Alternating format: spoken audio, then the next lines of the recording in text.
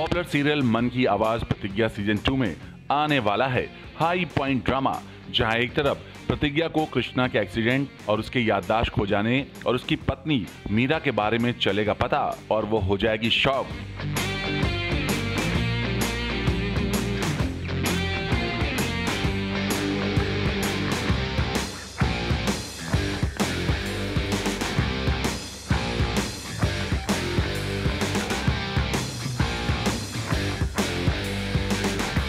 तो वहीं दूसरी तरफ़ कृष्णा कोमल और आदर्श की शादी का करेगा ऐलान, क्योंकि खुद कोमल आदर्श से करना चाहती है शादी, लेकिन परिवार वाले इसका करेंगे विरोध, लेकिन कृष्णा देगा कोमल का साथ।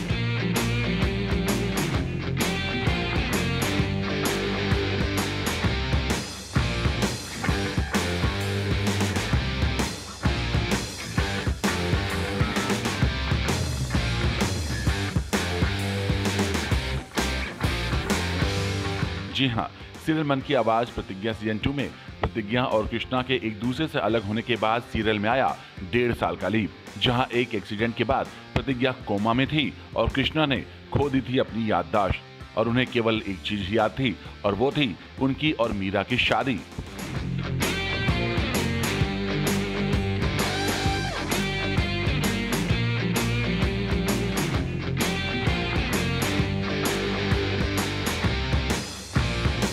इस बीच आदर्श भी जेल से बाहर आ जाता है और देखता है कि कोमल उसका इंतज़ार कर रही है। कोमल अपने घर वालों को आदर्श से मिलवाती है और अपने दिल की बात घर वालों के सामने रखती है कि वो दोनों एक दूसरे से शादी करना चाहते हैं। ये बात सुनकर परिवार उनकी शादी का करता है विरोध, लेकिन सीरियल की कहानी में आएगा ट्विस्ट जब कृष्णा उनके लिए स्टैंड लेगा और घर वालों के सामने इस बात की घोषणा करेगा कि कोमल और आदर्श की शादी होकर रहेगी।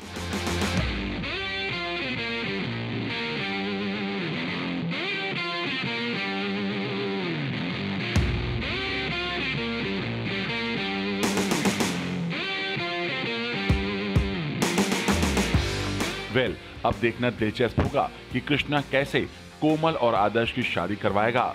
और क्या इसी ट्विस्ट के बाद कृष्णा को आएगी प्रतिज्ञा की याद?